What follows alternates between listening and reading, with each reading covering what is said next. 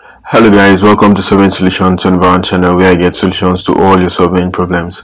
It's nice 9th Avenue class again today. How have you been? On today's tutorial, we are going to look at how to extract some of these um, land use land cover classes from this LULC data, right? Good. Now, each of these um, values represents different classes as you can see here under the class definition we have one that represents water the value one represents water two represents trees four represents um, flooded vegetation and rest of that right good now um, in our extraction today we are going to look at class value one then we're also going to look at um, class value 7 right good so we are looking at water body and then the built area so we are going to use the raster calculator tool to extract what those classes. Now we have done similar stuff using QGIS. We are however using um, ArcGIS on today's tutorial. So um, this is a note or let's say a guide we are using. So we are under the classes extraction and then as we said earlier we are using what ArcGIS.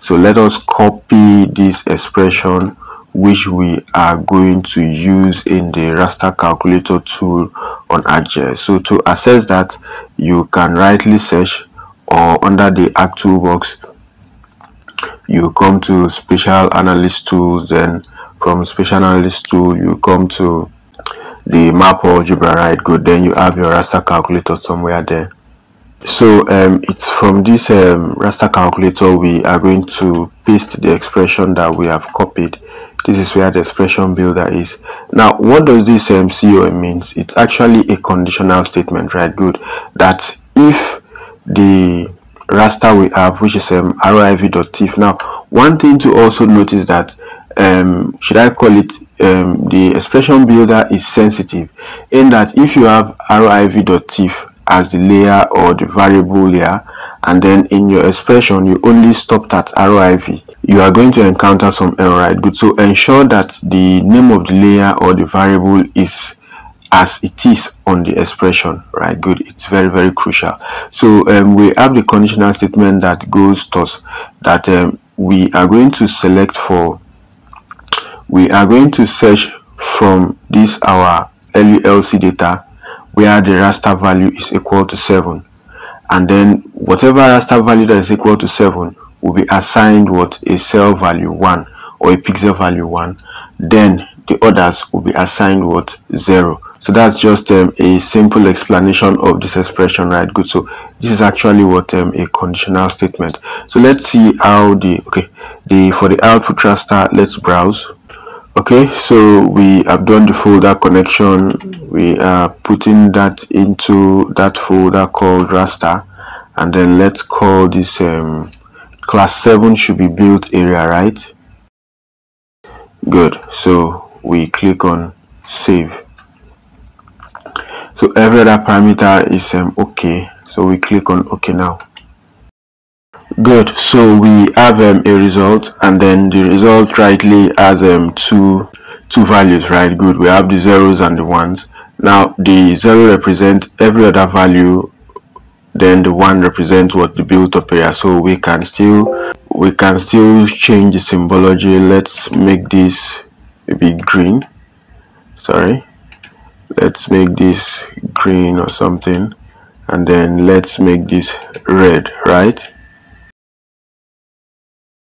let's make this red.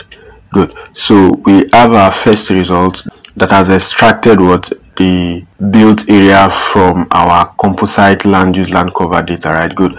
Now the second result is going to um, extract both the built area and the water body which is um, um, class value 7 and class value 1 right? Good.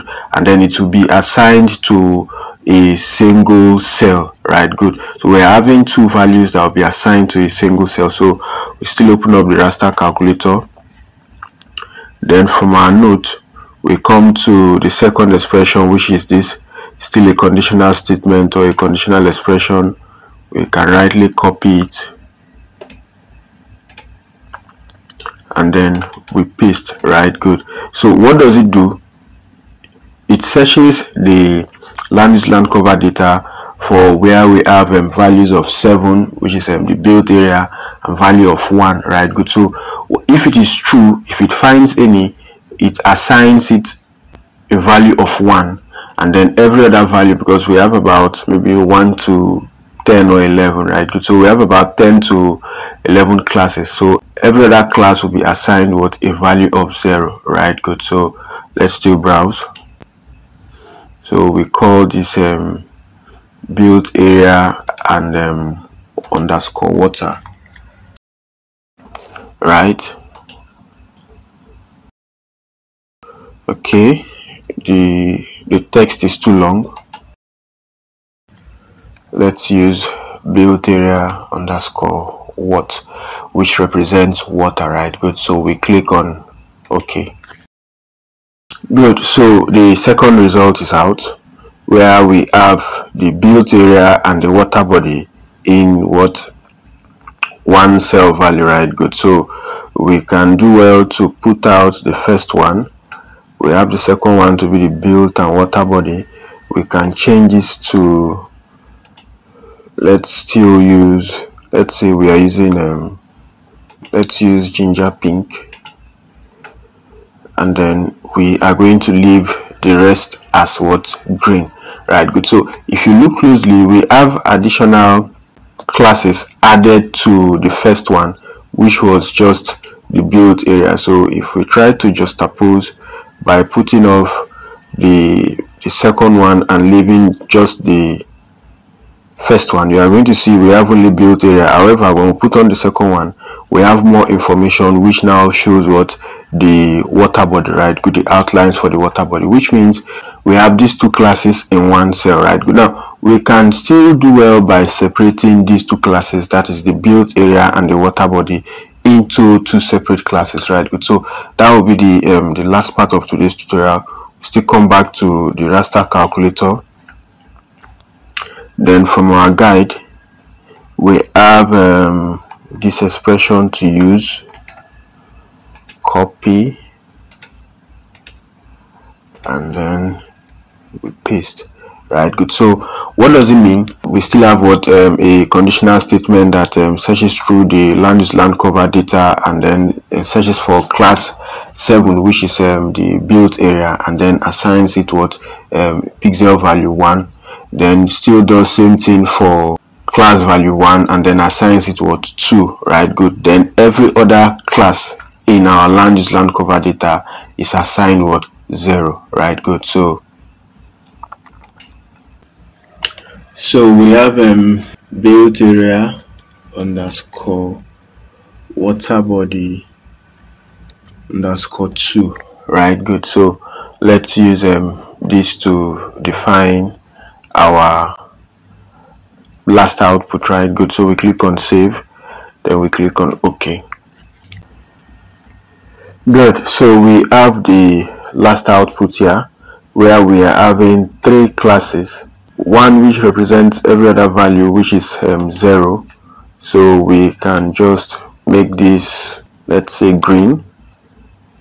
And then one which represents what? Built area. Let's make it red. And then finally 2 which represents the water body. Let's make it blue right? Something like this. Good.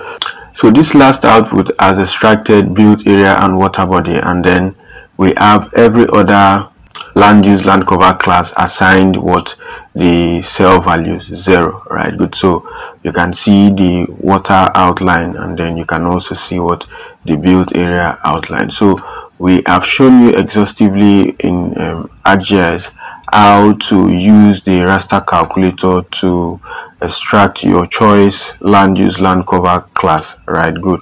Or classes as the case may be.